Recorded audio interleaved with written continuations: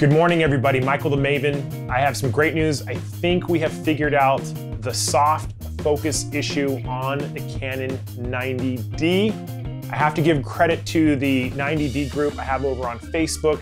Check it out if you're a 90D owner. What happened was we had a lot of users saying my focus is soft. They were sending it into Canon, they were returning the cameras, and a number of people have talked about soft focus. This doesn't have anything to do with the tracking problem that I noted in another video. When Canon announced the 5DS and the 5DSR, those are full frame censored cameras. They also published a list of lenses that they said use these lenses on these cameras. They have enough resolving power. If you don't know what resolving power is, or you are unfamiliar with MTF charts, I have a great video on it.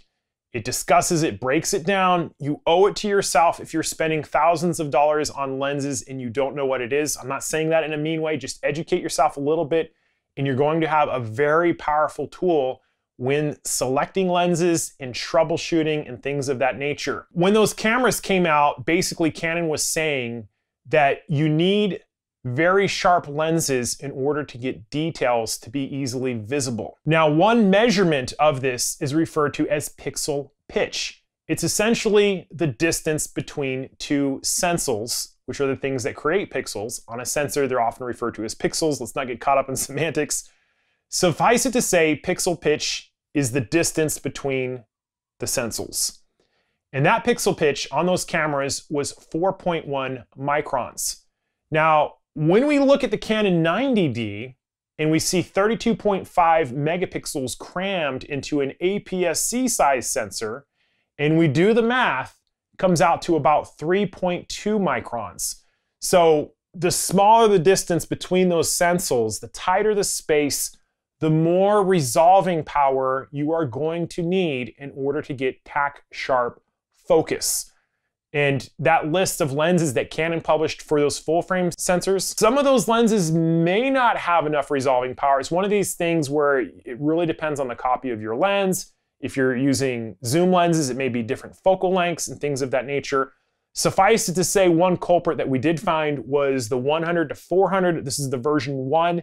I believe it came out in 1998, so 21 years ago. They weren't thinking about resolving power on sensors at the time. And what we're seeing with this lens on the 90D is that when they're zoomed in and they're looking at the center, sometimes it's a little sharp, but when you're at that 400 end, it gets a little soft. And what's probably happening is the lens is, is losing enough resolving power for the pixel density of the sensors. So very important to know this before you come to the conclusion that the 90D has a major problem.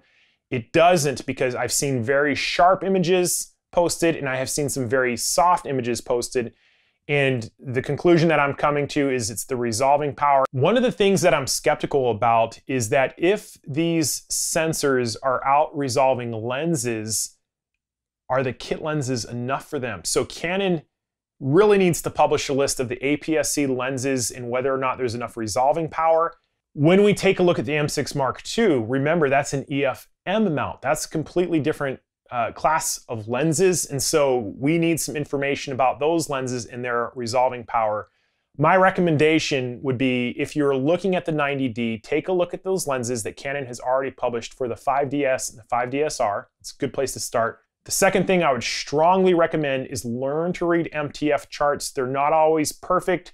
They're more like averages, but it will give you a good idea if a particular lens model would be enough. And then compare those different lens MTF charts with the MTF charts of the lenses that Canon has already recommended. And that should give you a ballpark idea if we're talking about maybe third party brands or lenses that you're not sure of.